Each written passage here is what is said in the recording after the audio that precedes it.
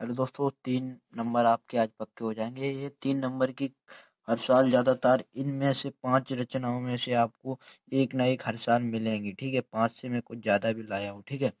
इसमें से आपको दो या तीन नंबर की पक्का मिलेंगी, ठीक है? क्लास टेंथ यूपी बोर्ड ठीक है?